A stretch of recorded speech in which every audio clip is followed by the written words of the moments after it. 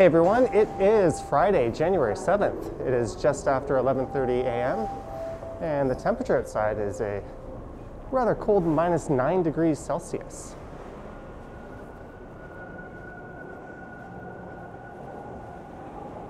And I am here at Broadview Station.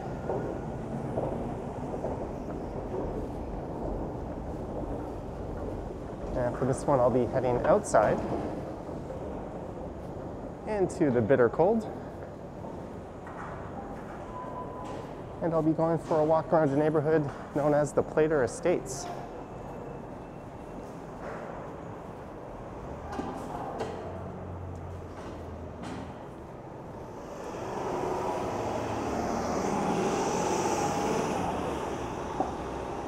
So this here is Broadview Avenue. Just gonna take my mask off here so I sound a little clearer.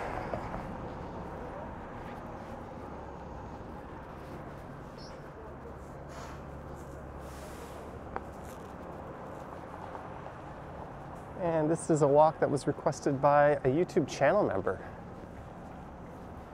And that member's name is Andrew Nielsen, and he is a God tier member. So shout out to Andrew and thank you for the request. There goes the 100A bus north. And a big thank you to all the YouTube channel members and Patreon members who support this channel.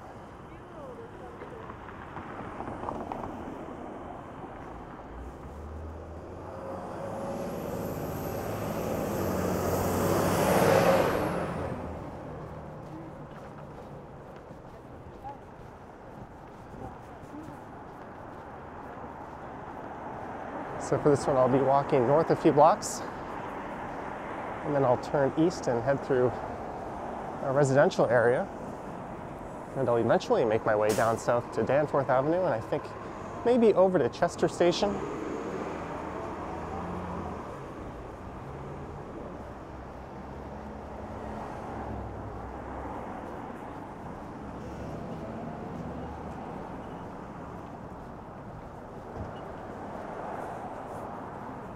There's a medical clinic at 807.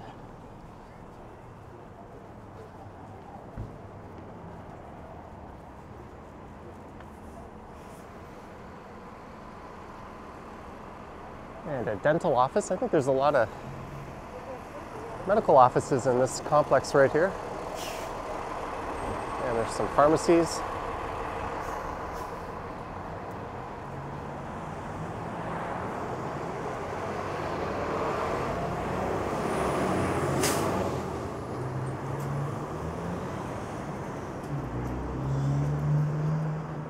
And this is Pretoria Avenue coming up.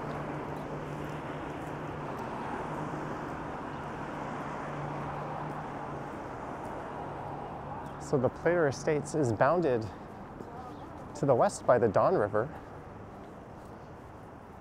and to the north by a street called Chester Hill. And you could actually take that over to what's called the Chester Hill Lookout and you'd get a rather spectacular view of the skyline. I won't be going that way on this one, but I've been out that way before. And to the east, Jackman Avenue, and to the south, Danforth Avenue.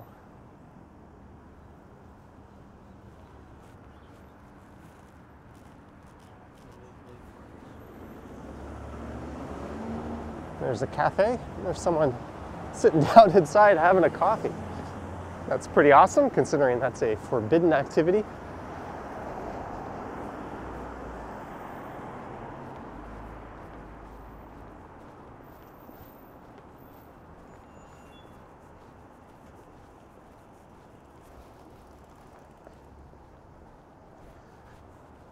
So historically, this, been, this has been a predominantly Greek and upper middle class neighborhood.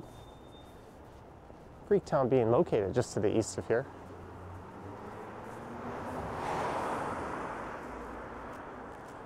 And there's some interesting street art.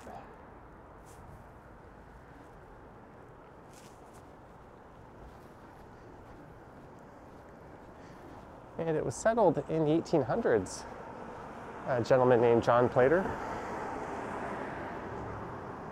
Sorry, George Playter. I think John was one of his kids. And he could be described as a United Empire loyalist. I think he made his way up to Canada via the US and was originally from England. And that family had a plot of land that was around eight square kilometers.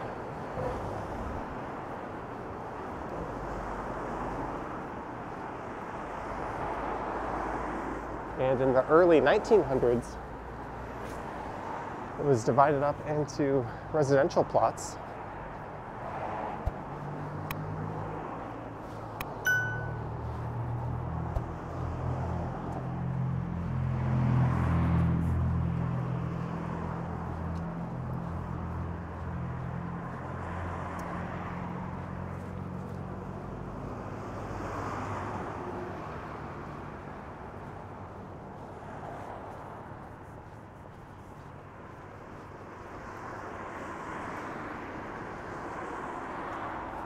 Later on on this walk, we'll be going by an old mansion that served as a farmhouse.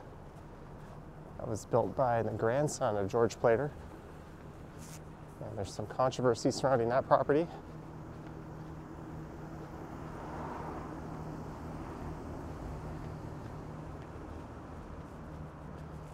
There's the Estonian Baptist Church. And there's a large Estonian hall just up here on the left.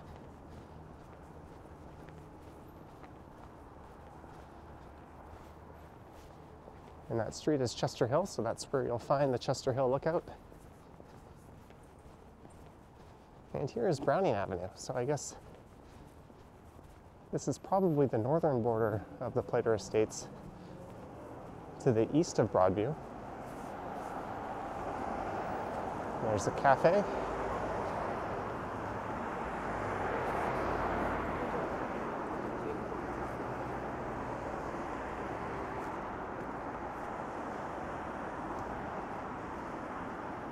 There's Chester Hill.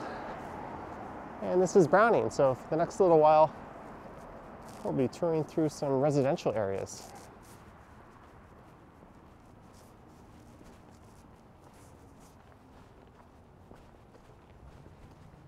And this is pretty much the route that was requested by Andrew.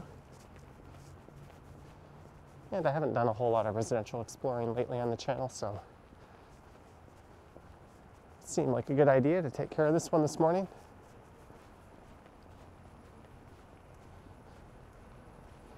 That intro you saw from Broadview Station was a bit of a faux entrance. I actually entered the station and head, headed down to the platform to record that. And then I left as if I had got off a train here. I was already in the area earlier today and I recorded part of a video that I hope to use as part of a live stream later tonight. That one ends in Broadview Station, or at least that segment of it will.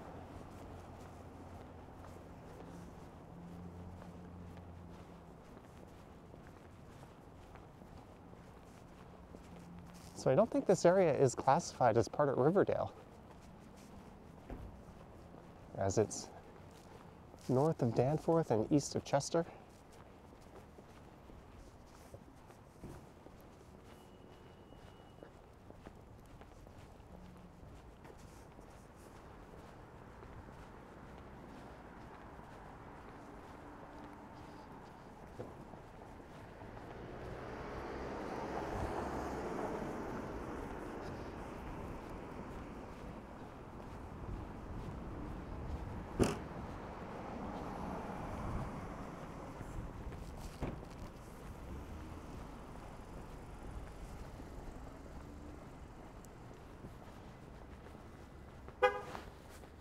There's a really unique house on the corner up here at Jackman Avenue. So this would be the eastern boundary of the Playter Estates.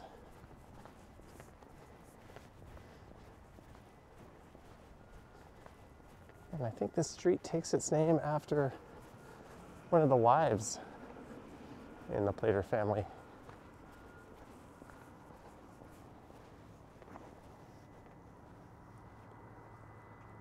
Wonder if they have a hot tub or something up there. It's an interesting addition.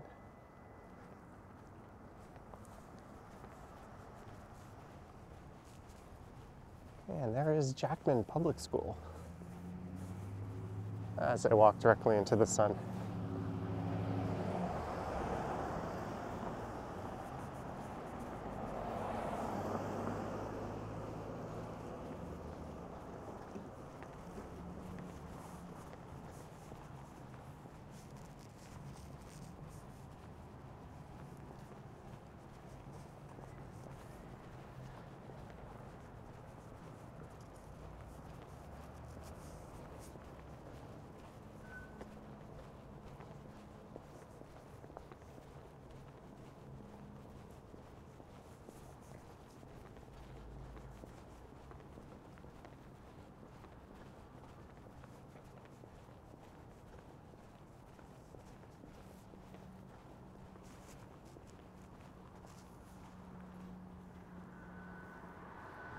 There's a look at the school. That's a junior public school. And this here is Butternut Street. So I think this is part of the route.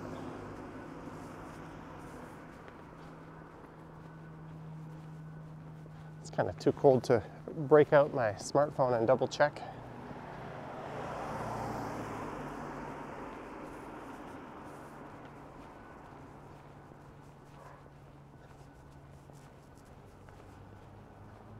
There's certainly a lot of really nice older homes here. Most would have been built after 1912.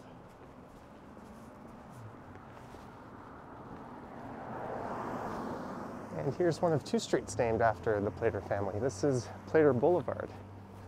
So I'll be heading south here.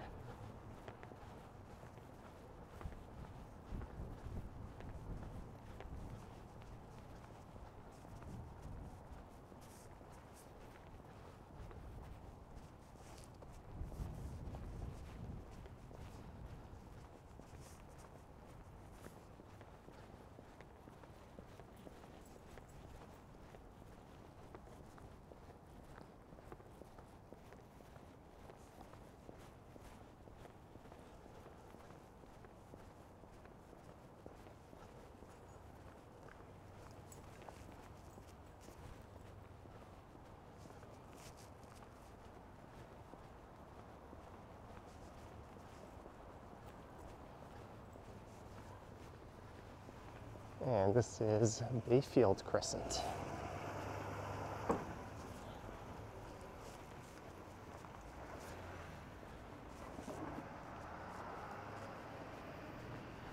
I'm going to continue south down Playter Boulevard, but there's some interesting homes right around the corner here.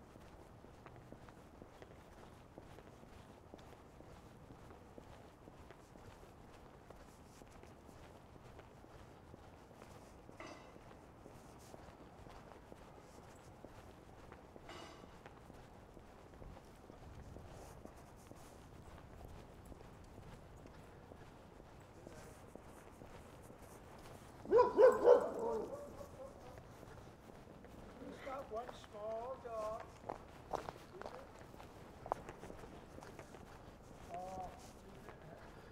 There's some neighbors being friendly with one another. Here's a neat home.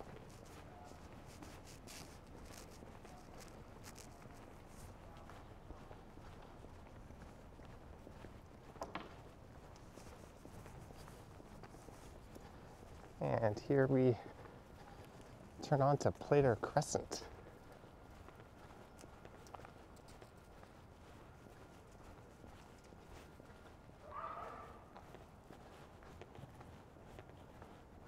Some neat homes out that way.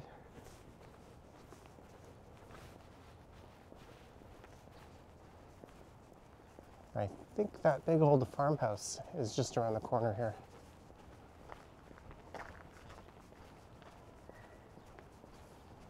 And it was the source of quite a bit of controversy.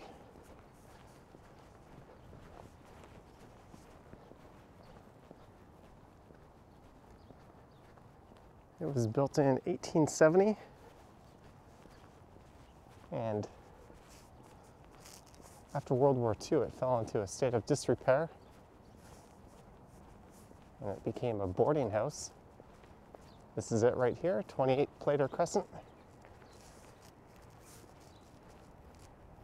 So way back when this was the only house in the area and it overlooked a rather large plot of land. It has heritage status, but in the mid 2000s it was purchased by surviving sisters of the Playter family by a local resident who bought it and started heavily renovating it. I think those renovations started in the 2010s. And there was quite an uproar over that as the house has been seriously reconfigured. It doesn't really look anything at all like its original self. And I think there are even calls to remove its heritage status. An extra level was added, but here it is, and it's been featured in a number of movies and TV shows over the years. I'm not sure if that's happened since the renovation. I don't know if the lady who renovated it is still occupying it. If I didn't know the history, I would say it's rather it's rather nice. The brick wall kind of turns a bit of a cold shoulder to the rest of the neighborhood. I'm not sure if that was an original element.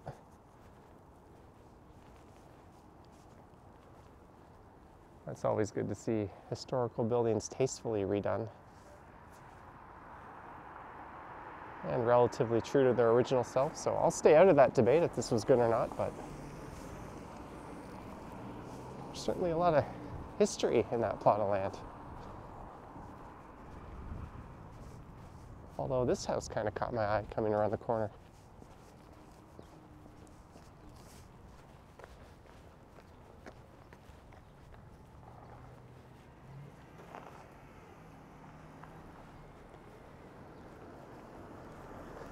I think it's clearly the biggest property in this area. And it was purchased in the mid 2000s for about $700,000 over asking. And the redevelopment plans had the blessings of the sisters who were surviving members of the Playter family. Although perhaps that 700,000 was a little bit of grease to make sure that that happened. And just to the south is Danforth Avenue.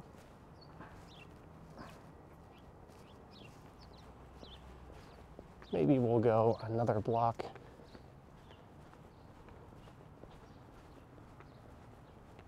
And then I'll head south down to Danforth.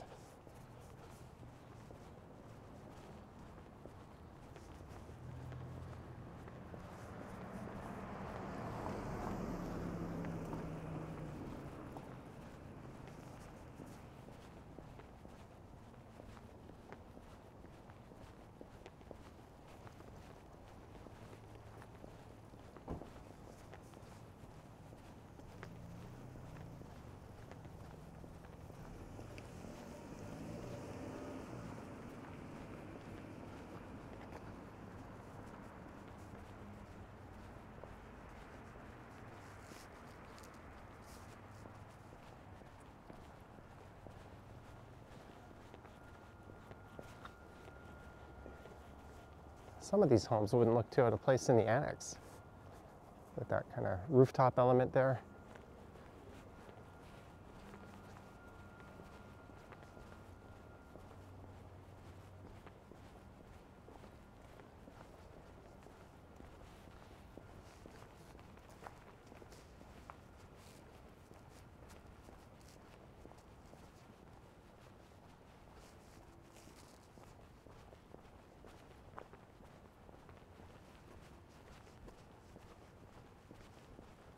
And we're back to Jackman Avenue.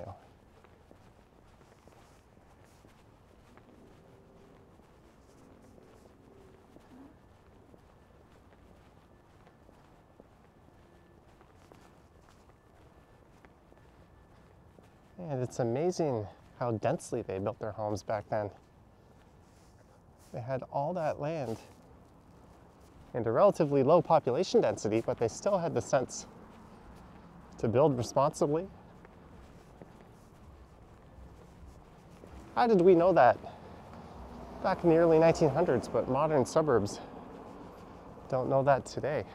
It's kind of amazing.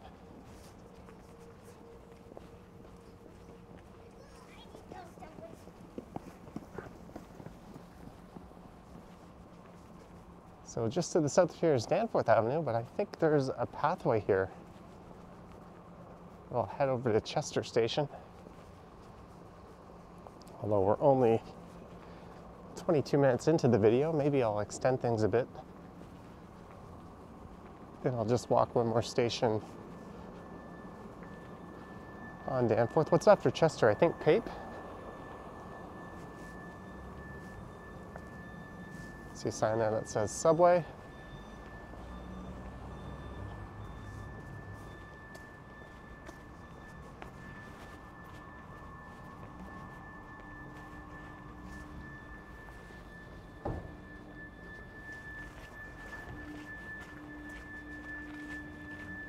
This should be part of Chester subway station here.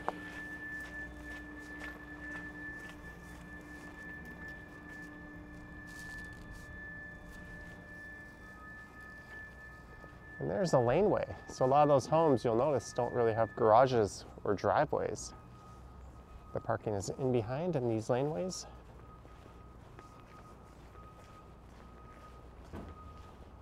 Wonder if that bike is being stored there or if it's a decoration.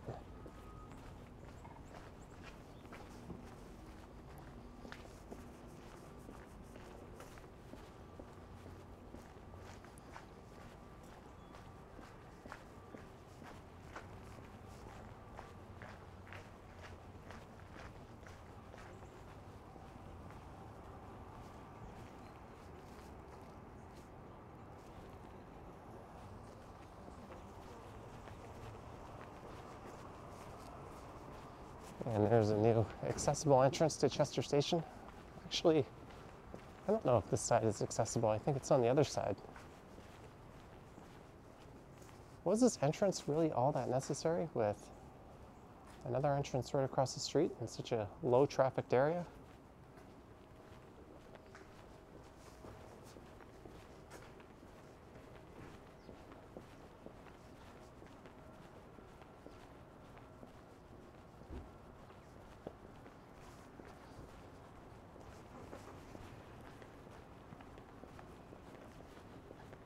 Here's another laneway.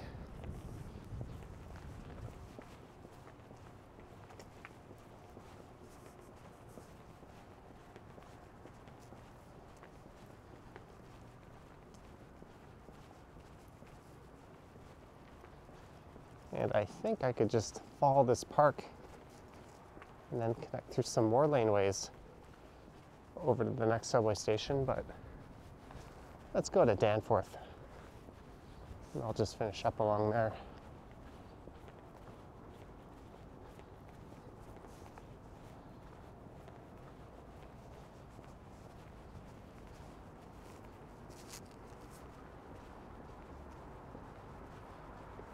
And there's Messini across the street.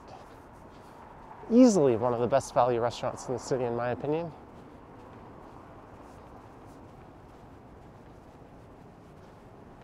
Here's where Pappas Grill used to be. And I think they were a victim of all the restrictions last year. But Mezes, a very popular Greek restaurant just to the east of here, is moving into this location.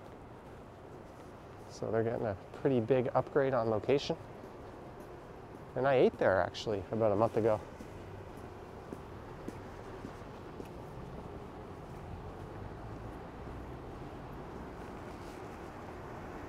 So this is Greektown, as we are east of Chester.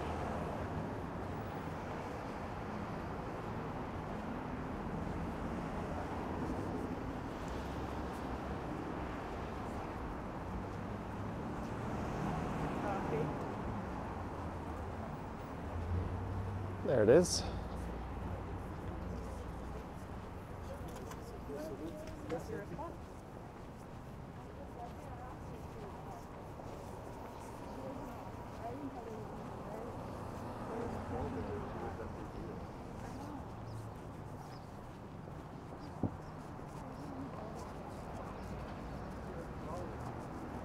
No one has moved into the spot of that old Timmy's yet.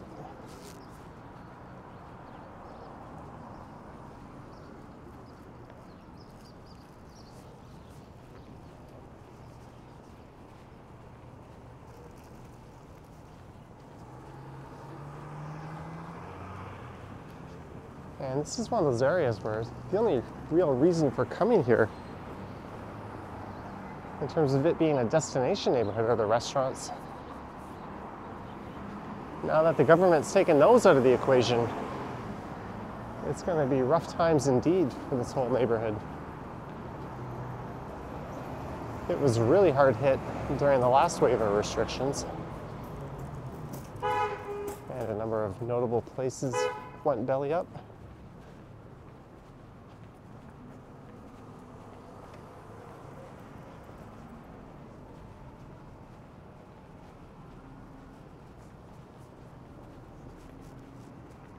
Hopefully these ones don't last too long and everything can open back up again.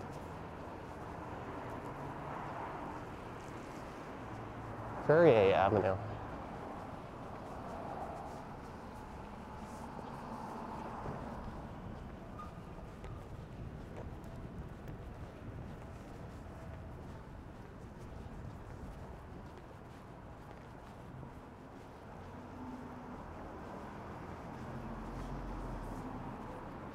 And coming up is Carlaw Avenue.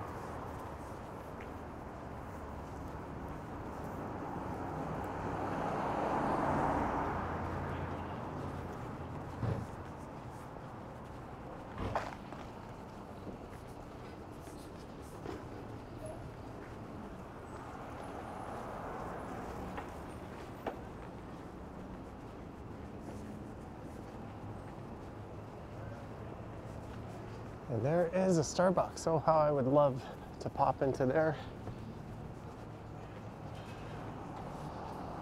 And on a day like this, I actually have my laptop on me.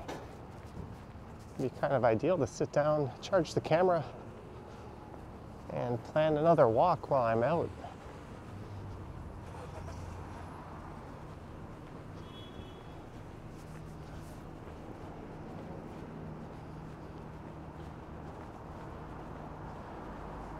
I think that was a parking enforcement officer.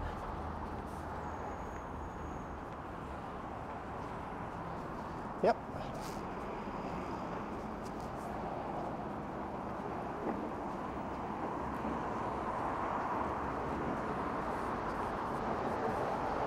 And here we are at Pape Avenue.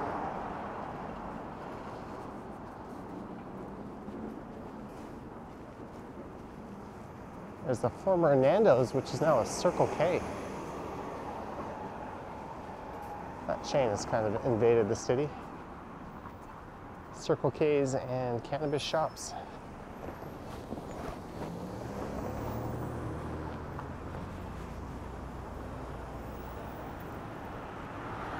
Taking my gloves off, getting the mask out.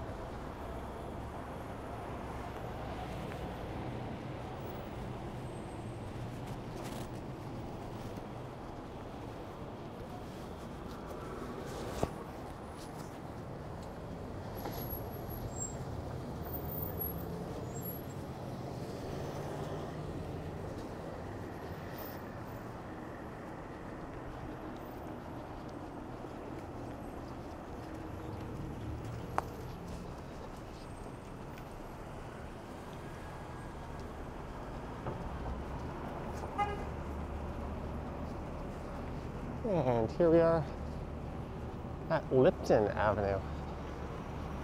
So I'll pop into Pape Station and I'm actually kind of having second thoughts now. I'm thinking, since I still need to collect some footage for my live stream tonight, so I'll be doing one where I play pre-recorded walks as opposed to walking outside around the city. I might not want to get on the train here. Oh, well, I'll head down to the platform and pretend that's what I'm doing anyways.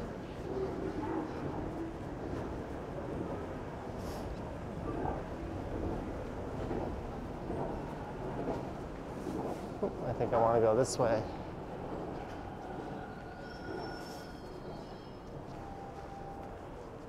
So on that note, I hope you enjoyed this one. Let me know your thoughts and comments down below. Again, thank you to our Patreon and channel members.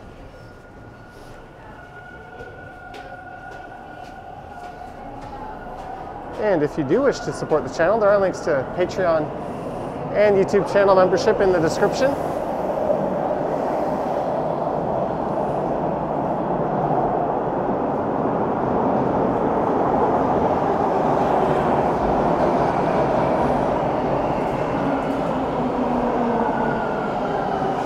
I also have a merch store at strideswag.com and an Instagram account at Johnny Strides. All right, thank you for watching, and I will catch you on the next one.